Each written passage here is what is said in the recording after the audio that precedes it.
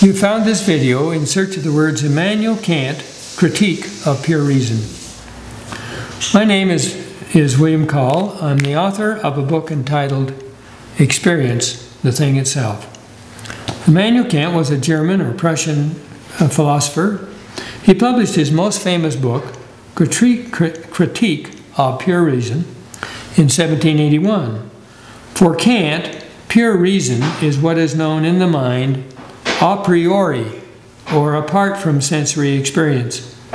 What Kant means by pure reason is what takes place in the mind apart from what is experienced by the senses. What Kant didn't realize is that experience consists of the relationship between sensory and mental experience, and that what one experiences is both what one experiences is both of the senses and of the mind at the same time. Accordingly, experience does not confirm the philosophy of Immanuel Kant.